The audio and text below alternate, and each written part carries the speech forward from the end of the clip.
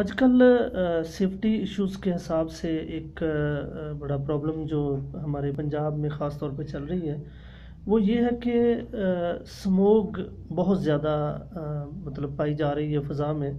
Smog basically تین چیزوں پر مشتمل ہوتی ہے۔ ایک تو اس میں دھواں ہوتا ہے جو انڈسٹریز کا دھواں بھی ہو سکتا ہے، گاڑیوں کا دھواں بھی ہو سکتا ہے اور خاص طور پر ان دنوں میں فصلیں جلائی جاتی ہیں، جو فصل کاٹ لیتے ہیں، اس کے نچلا جو حصہ تھا، اس کو جلا دیا جاتا ہے۔ تو یہ مختلف قسم کا دھواں جو ہے، یہ فضا میں بڑھ جاتا ہے اور اس کے ساتھ ڈسٹ، کیونکہ پنجاب میں مٹی بہت زیادہ ہے، تو یہاں پہ ڈسٹ بھی بہت زیادہ فضا میں اڑتی ہے۔ اور تیسری چیز جو ہوتی ہے، اس میں دھند آ جاتی ہے سردیوں کی وجہ سے۔ تو یہ جو تین چیزیں ہیں، تینوں چیزیں ملنے کی وجہ سے ایک چیز بنتی ہے، جسے سموک کہا جاتا ہے۔ اس کے زیادہ کوئی خطرناک چیز نہیں ہے، بس اس کا نقصان بڑا یہ ہوتا ہے کہ جو ہماری نگاہ ہے، جو ہمیں نظر آنے کی صلاحیت ہے، وہ کم ہو جاتی ہے۔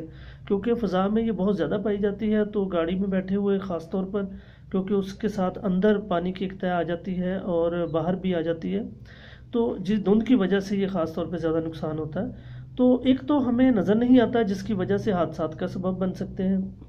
گاڑی میں، سائیکل پہ، موٹر سائیکل پہ کسی بھی سواری کے اوپر جب آپ سفر کر رہے ہوتے ہیں تو اس سے وہ نظر آنے کی صلاحیت کم ہو جاتی ہے۔ تو دوسرا یہ ہوتا ہے کہ اس میں سانس کی پرابلم ہو جاتی ہے۔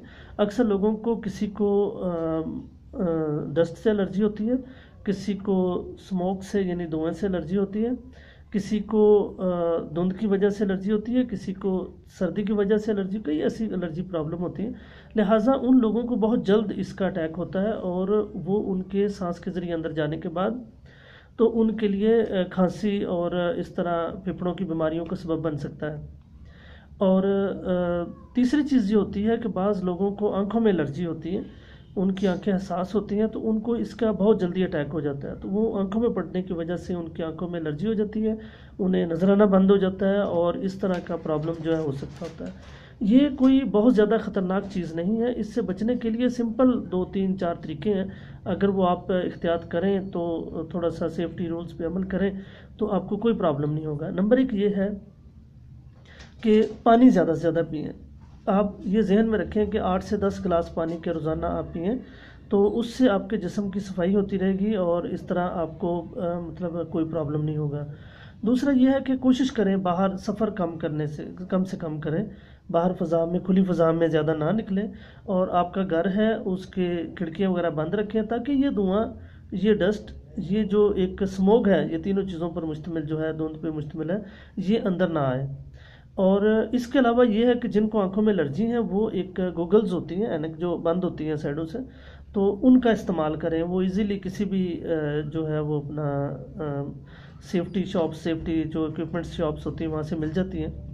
تو اس کے علاوہ یہ ہے کہ ٹھنڈا پانی زیادہ نہیں پئیں ان دنوں میں، کیونکہ زیادہ ٹھنڈا پانی جو ہے وہ آپ کے پیٹ کو ٹھنڈا کر دیتا ہے، آپ کے جسم میں اندر ٹھنڈک پیدا کرتا ہے، اس سے بھی لوگوں کو پرابلم ہو جاتی ہے۔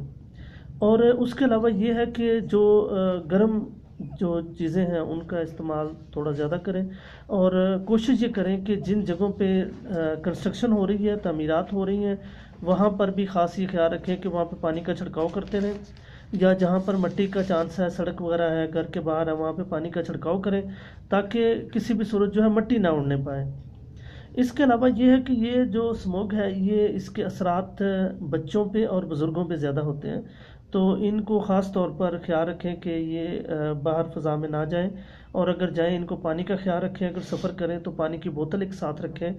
تو اس طرح اپنی گاڑیوں کا بھی معائنہ کروائیں کیونکہ گاڑیوں سے جو دھواں نکلتا ہے وہ بھی سموک کو مزید تیز کر دیتا ہے۔ تو ان کا بھی چیکنگ آپ کر سکتے ہیں۔ اور خاص طور پر یہ کہ جن کو سانس کا پرابلم ذرا سے بھی ہو، وہ ہمیشہ کھلا لباس، ڈھیلا ڈالا لباس پہنے بعض لوگ اوپر والا یہ بٹن بند کر لیتے ہیں، اس کی وجہ سے ان کو سانس رکنے کا مسئلہ ہو سکتا ہے، ایسی شکایت ہو سکتی ہے۔